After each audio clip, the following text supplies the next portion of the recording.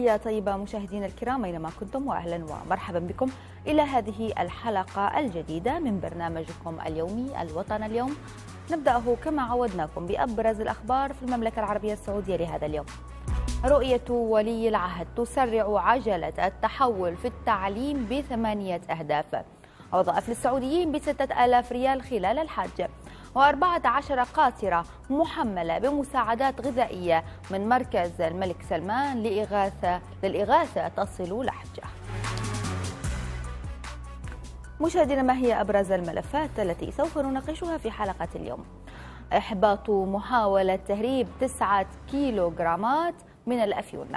حصة السعودية من الثروات السيادية العالمية تقدر بأكثر من من 2 تريليون ريال. وأمير عسير يفتتح مهرجان أبها للتسوق. ويكرم الرياض لرعايتها الإعلامية.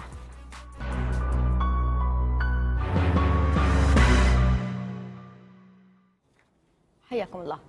أحبط جمرك مطار الأمير سلطان بن عبد العزيز بمنطقة تبوك تهريب كمية من مادة الأفيون بلغت أكثر من تسعة كيلوغرامات عثر عليها مخبأة في أمتعة أحد القادمين إلى المملكة عبر المطار. وأوضح مدير جمرك المطار منصور المزيد أنه عند قيام المراقبة الجمركي بالإجراءات الجمركية لركاب إحدى الرحلات عثر على تلك الكمية من الأفيون. مخبأة في حقيبتين كانتا مع أحد ركاب الرحلة بحيث تم إخفاء الكمية أسفل كل حقيبة. ومن ثم جرى تغطية الأفيون بطريقة فنية بورق مقوى ذلك لغرض التمويه على المراقب الجمركي. مشاهدينا الكرام وللتعليق على هذا الموضوع تنضم إلينا ومن جدة الدكتورة سحر رجب المستشارة النفسية والأسرية. هلا ومسهلا دكتورة سحر أكيد نورتيني في برنامج الوطن اليوم. أكيد جهود رجال الأمن ووزارة الداخلية ممثلة بمكافحة المخدرات كبيرة. بهدف عدم عدم أي كمية من المخدرات إلى داخل المملكة. لكن دائما لما نتكلم عن وجود مخدرات في المملكة نتكلم عن أشخاص يطلبون المخدرات. برأيك وش هي الأسباب اللي تخلي المتعاطي متعاطي أو بالأحرى الشخص يطلب المخدرات. اولا أهلا وسهلا بكم وشكرا وكل سنة وأنتم طيبين وعيدكم وأنت طيبة. عدة أسباب منها المراهقين يعني بشكل كبير تنتشر بينهم بسبب الابتعاد أو الانفصال بين الأب والأم التشتت الأسري القسوة التعنيف هذه كلها بتأثر على المراهق وبتخليه يعني يفكر. بالإضافة إنه رفاق السوء بيقول له جرب كتجربة أولى أو أنت ما أنت قدها تصير فيها تحديات.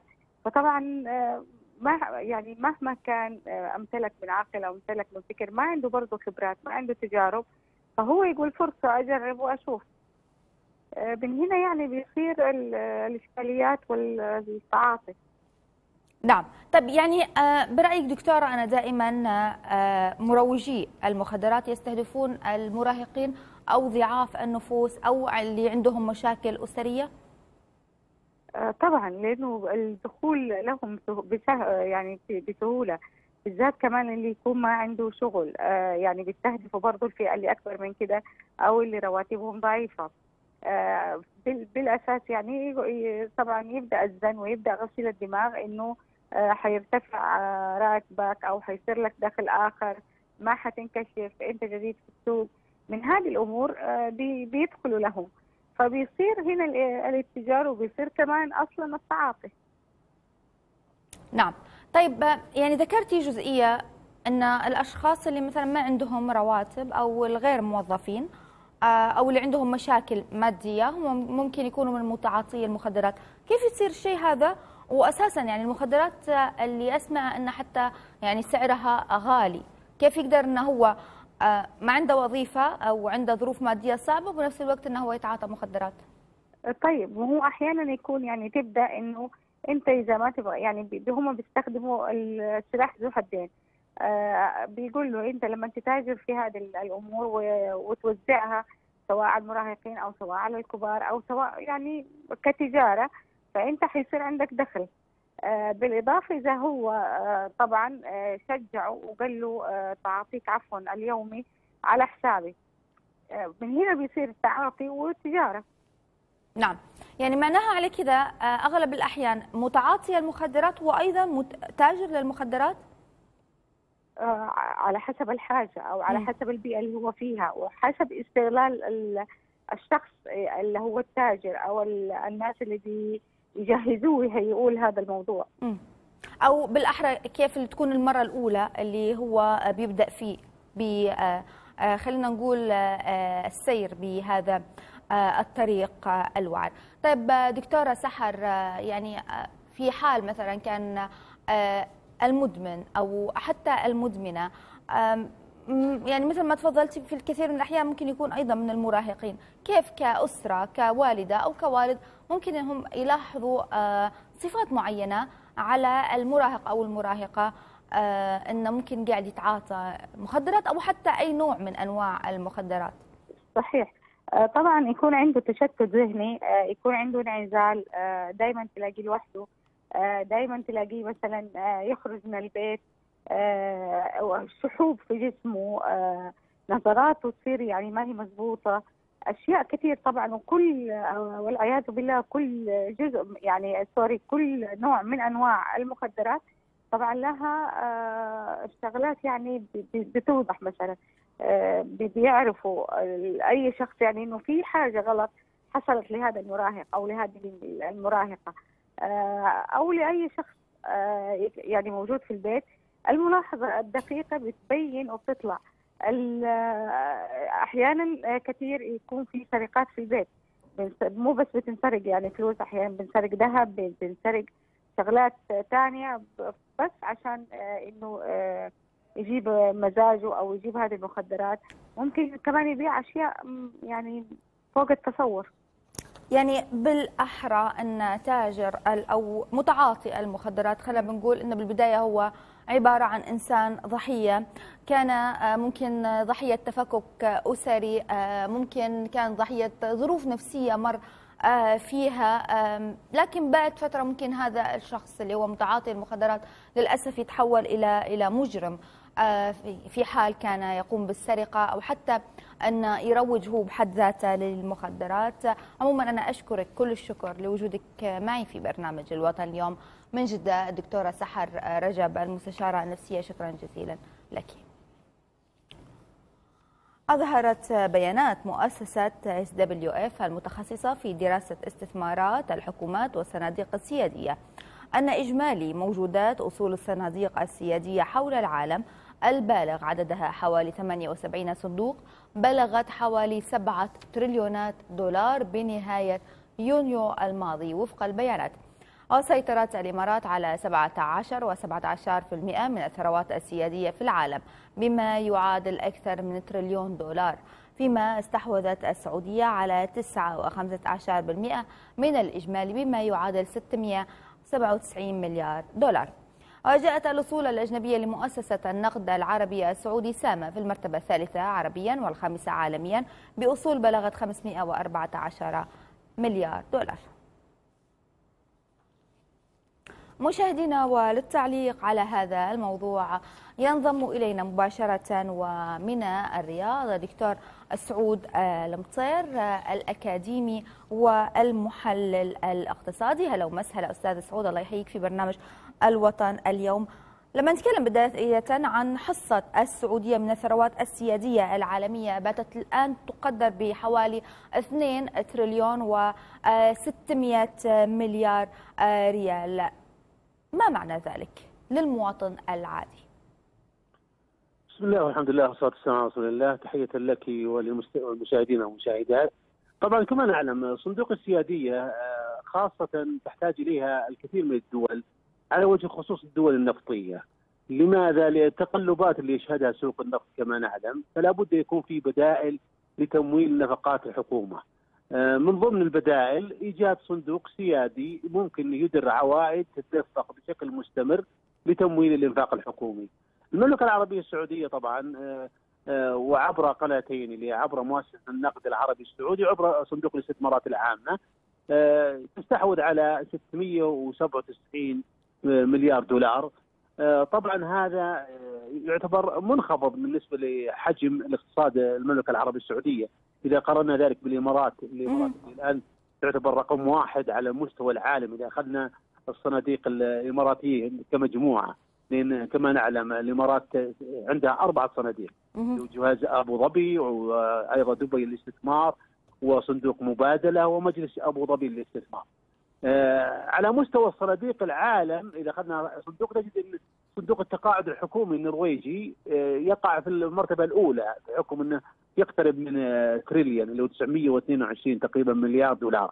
المملكة العربية السعودية طبعا اللي هو كما نعلم الرؤية 2030 أحد يعني مقومات أو أحد الأعمدة اللي تعتمد عليها المملكة العربية السعودية في آه، رؤية 2030 اللي هو إيجاد صندوق سيادي ضخم جدا بحيث يبلغ 2 آه، تريليون دولار ليكون رقم واحد على مستوى العالم. وطبعا الآن ما زال ضعيفا اللي هو هيئة الاستثمارات العامة يعني اللي هو 183 مليار دولار فقط ولا يعتد بما تملكه مثلا مؤسسة النقد العربي السعودي 514 مليار دولار دولار لماذا؟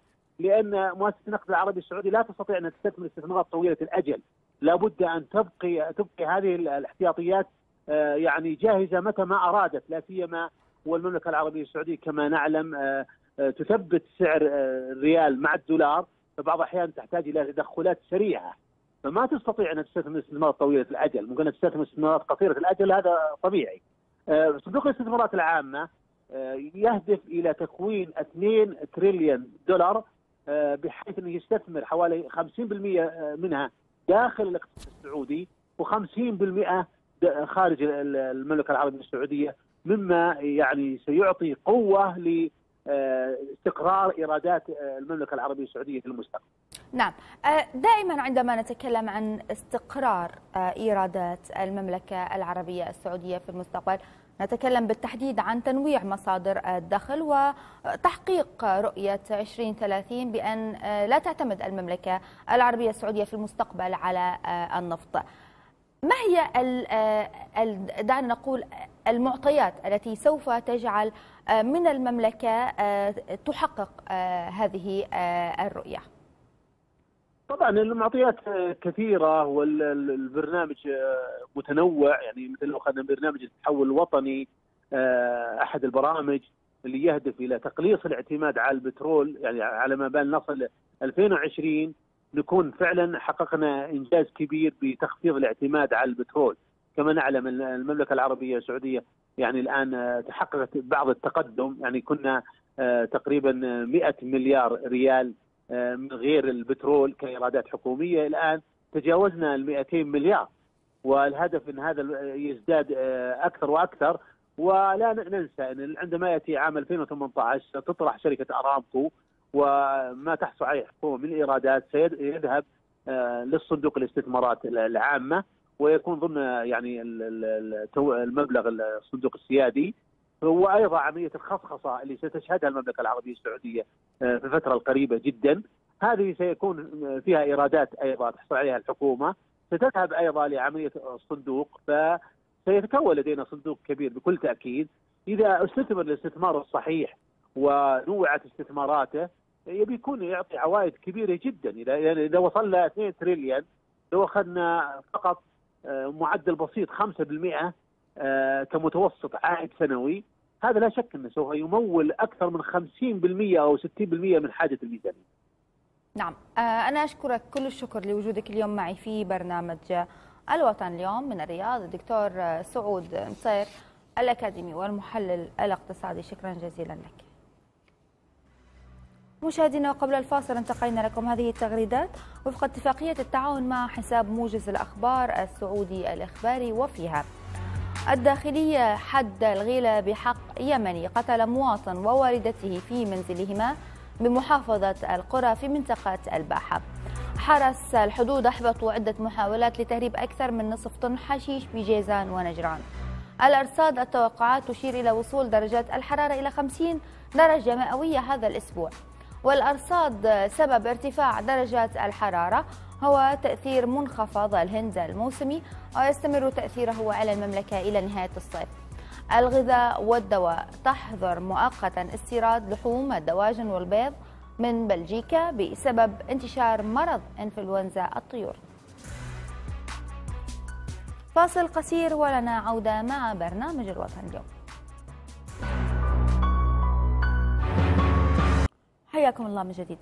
افتتح صاحب السمو الملكي الأمير فيصل بن خالد بن عبد العزيز أمير منطقة عسير أمس الأول مهرجان ابها للتسوق لعام 2017 في دورته العشرين في عامه التاسع عشر ضمن فعاليات مهرجان أبها يجمعنا المواكب لاحتفالات أبها عاصمة السياحة العربية لعام 2017 الذي تنظمه شركة ستار للمهرجانات والمعارض في مدينة أبها بالمركز الدولي للمعارض على طريق المطار.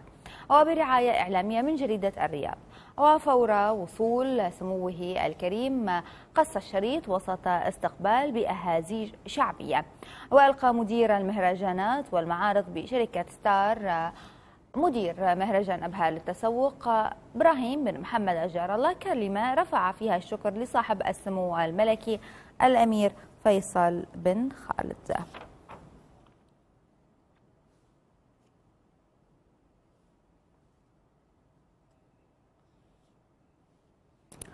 مشاهدينا الكرام وللتعليق على هذا الموضوع ينضم إلينا مباشرة عبر الهاتف ومن أبها الصحفي في جريدة الرياض سعيد الجندب. أهلا ومرحبا بك أستاذ سعيد. الله يحييك في برنامج الوطن اليوم. لما نتكلم عن مهرجان أبها للتسوق الآن هو يدخل عامه التاسع عشر وفي دورته العشرين تماشيا مع آه، إعلان أن أبها هي آه، حصول أبها دعنا نقول على لقب عاصمة السياحة العربية بعد سنوات من الجد والعمل. ماذا يعني ذلك لمدينة أبها؟ أسعد الله أوقاتكم بكل خير وشكرا لكم وشكرا خاص لك أستاذة شيرين. الله يحييك. آه، مهرجان مهرجان أبها للتسوق هو فعاليه ضخمة كانت من أولى الفعاليات السياحية التي تقام في المملكة قبل 19 عاما آه، كانت مبادرة من آه، صاحب السمو الملكي الأمير خالد بن فيصل مستشار خادم الحرمين الشريفين أمير منطقة مكة المكرمة حين كان أمير منطقه عسير. وجنب التسوق في هذه الأيام يعتبر آه، مصدر رئيسي للحركة التجارية في منطقة عسير ومنطقه جذب واستقطاب للعائلات وزوار وسواح منطقة عسير. نعم. أكيد مهرجان أبها وجوده مثل ما تفضلت يعني وعلى مدى 19 عام عندما أطلقه الأمير خالد الفيصل أكيد يحقق مردود سياحي واقتصادي على المنطقة إضافة إلى البعد التجاري. حدثنا أيضا عن هذه الجزئية سعيد. نعم. مهرجان التسوق ساهم خلال السنوات الماضية بدعم الحركة التجارية في منطقة عسير ومنطقة الجنوب بشكل عام حظي آه، بدعم وتشجيع من آه، أمير منطقة عسير الحالي الأمير فيصل بن خالد بن عبد العزيز ومتابعة الأمير منصور بن مقر نائب أمير المنطقة رئيس مجلس آه، أصبح مهرجان ابل التسوق خلال الفترة الحالية هو مصدر رئيسي لجس نبض الحركة التجارية للشركات الكبرى والعملاقة على طريق آه، رعايتها للفعاليات ووضع أجنحة فيها. آه، ساهم كذلك في رفع القوة الشرائية والترويج. خلال هذا العام آه، تميز المهرجان كذلك بدعمه للأسر المنتجة في جناح مستقل بالتعاون مع برنامج بارع. ويهدف كذلك على منذ إنشائه إلى دعم الشباب السعودي والشابات الدخول للعمل التجاري ووضع المهرجان كذلك آه، محطة تدريبية لهم قبل الدخول إلى سوق العمل آه، وكذلك ممارسة الأعمال التجارية. مهرجان أبها للتسوق آه، يأتي هذا العام كذلك مواكبة مع اختيار أبها عاصمة للسياحة العربية ضمن فعاليات مهرجان أبها يجمعنا الذي سوف تبدأ فعالياته يوم الجمعة القادمة بحفل كبير لفنان العرب محمد عبده على مسرح المفتاحة بعد غياب امتد لعشر سنوات آه، الانعكاس السياحي والانعكاس التجاري والانعكاس الاقتصادي سوف يكون بإذن الله تعالى خلال هذا العام كبير وضخم وسوف إن شاء الله تعالى يتابع جميع السواح والزوار تطور كبير في الخدمات المقدمة السياحية والاقتصادية وكذلك المشاريع الاسكان الصيفي التي تقوم بها العامه للسياحه والتراث. نعم، طيب خلينا شوي نلقي الضوء على مهرجان أبها للتسوق. أبرز ما سيحدث في هذا المهرجان والمدة اللي حيستمر. مهرجان أبها للتسوق سوف يستمر على مدى شهر كامل خلال هذا العام يوجد جناح للشركات السعودية باسم معرض ستار للمنتجات الاستهلاكية إضافة لمنطقة خاصة بالألعاب تعد سنويا للسواح والزوار. هذا العام سوف يكون هناك نشاط جديد وفعالية جديدة وهي حديقة الفراشات بجانب موقع المهرجان. سوف يعني يزور يطلع الزوار خلالها على حديقة متكاملة من الفراشات من جميع دول العالم. كذلك هناك المسرح الداخلي اللي يقدم عروض يومية عروض شعبية وعروض لأفراد الجاليات المقيمين في منطقة عسير. كذلك البرامج المسابقات إضافة إلى عرض كامل للمأكولات الشعبية في المطعم التراثي الملاصق للمهرجان. وكذلك بعض الاستضافات التي سوف تكون صحيه بالدرجة الأولى لفحوص السكر والضغط وإضافة إلى تقديم بعض العروض والهدايا لزوار المهرجان بالتعاون مع الشركات الراعيه والداعمة له. نعم، هل سيكون هناك يعني إعطاء مجال أيضا للأسر المنتجة لعرض منتجاتها في المهرجان؟ نعم مثل ما شفت قبل قليل هناك جناح خاص للأسر المنتجة بالتعاون مع برنامج بارع لدعم الأسر المنتجة في المملكة تشارك فيه عدد من السيدات والشابات لتقديم المنتجات الشعبية إضافة لبعض المنتجات من الملابس من الروائح العطرية الشعبية الخاصة بمنطقة عسير كذلك في منطقه الساحات مساحة المطاعم الكبرى هناك أكثر من سيده تقدم بعض المنتجات الجديدة مثل القهوة التركية على الجمر مثل الخبز التنور نعم. المحلي نعم أشكرك كل الشكر لوجودك اليوم معي في برنامج الوطن اليوم من أبها الصحفي في جريدة الرياض سعيد الجندب. شكرا جزيلا لك. وصلت أمس الأول إلى محافظة لاحج باليمن 14 قاطرة محملة بمساعدات غذائية مقدمة من مركز الملك سلمان للإغاثة والأعمال الإنسانية كدفعة أولى من ضمن 20 قاطرة مخصصة للمحافظة. تستهدف المساعدات الغذائية النازحين واللاجئين والأسر الفقيرة في مديريات الملاح وطور الباحة والقبيطة وتبن والحوطة. وتحتوي السلة على المتطلبات الغذائية الأساسية لاحتياجات الأسرة. مشاهدينا الجدير بالذكر أن المركز كان قد وزع خلال شهر رمضان لهذا العام نحو 180 ألف سلة غذائية على عدد من المحافظات اليمنية. وصلنا مشاهدينا وإياكم لفقرة تويتر هذه الفقرة اليومية والحيوية حيث تفاعل مغردون عبر موقع التدوين المصغر تويتر مع وسم لبيك يا سلمان حنا جنود الوطن. وقدموا عبارات الولاء والوفاء لخادم الحرمين الشريفين الملك سلمان بن عبد العزيز ال سعود. برنامج الوطن اليوم أكيد رصد أبرز هذه التغريدات حول الوسم واللي كان أبرزها تغريدة لأحمد الدهمشي اللي قال فيها فيها لبيك يا أبو فهد يرخص لك الغالي نموت وتعيش السعودية شامخا يا وطن يا وطن الأمجاد حفظ الله الوطن أيضا سعد القحطاني غرد قائلا في تغريدته نموت كي يحيا الوطن كي يبقى امنا فلا عيش لنا بدون الوطن عاشت بلادي حرة أبية. أيضا حساب باسم الشهري غرد فيه قائلا الله يديمك عز على رؤوس وعلى رؤوس الأشهاد ويجعل يمينك سابقة في عطاها. حنا جنودك نوقف بوجه الانداد والمملكة روحي ودمي فداها. أبو عبد الله أيضا غرد قائلا عشت يا رمز الوفاء للعرب والمسلمين لبيك وقت الرخاء وفي وقت المحن حنا حزامك هو السند لك واليمين.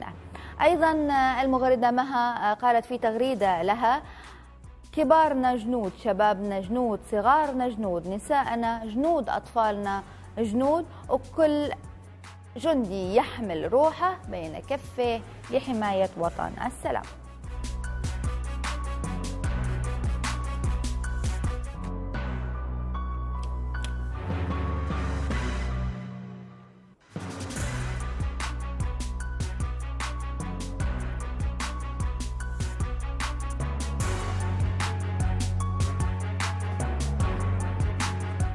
مشاهدينا هاشتاج جميل هاشتاج رائع هاشتاج لبيك يا سلمان حنا جنود الوطن بهذا الهاشتاج الرائع. ينتهي البرنامج تنتهي هذه الحلقة. بكرة اشوفكم إن شاء الله. مع السلامة.